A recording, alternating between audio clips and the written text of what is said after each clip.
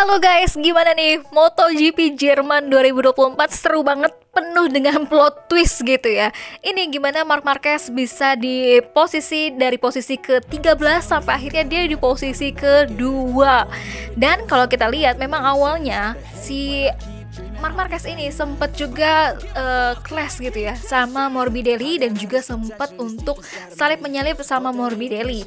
Dan juga terakhirnya si Mark Marquez ini bisa menyalip Morbidelli di 5 laps to go 5 lap lagi gitu ya. Sementara itu uh, memang ada beberapa yang seru di mana si Enya Bastian ini juga Morbidelli juga sempat untuk nyalip-menyalip dan tadi juga kita lihat bagaimana si Mark Marquez sama Morbidelli ini sempat clash uh, sampai si uh, depan kaca depannya dashboard Mark Marquez itu sempat pecah gitu ya. Nah, ini untuk yang di restartnya kita lihat gimana si Mark Marquez juga harus dipepet gitu sama si Brad Binder dan juga uh, wetpacknya Mark Marquez ini sempat lecet gitu ya karena diserempet sama si Brad Binder gitu.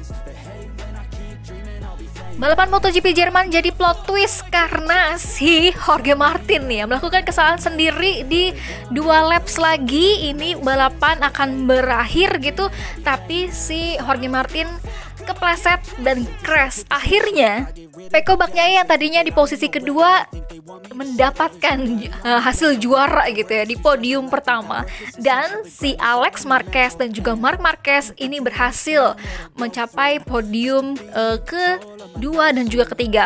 Uh, Mark Marquez kedua kemudian juga Alex Marquez yang berada di posisi ketiga. Ini gimana si Alex Marquez dan juga Mark Marquez berpelukan gitu ya. Dan kita kasih selamat juga untuk Peko Baknyai yang berhasil menjadi juara untuk pertama kalinya di MotoGP Jerman 2024.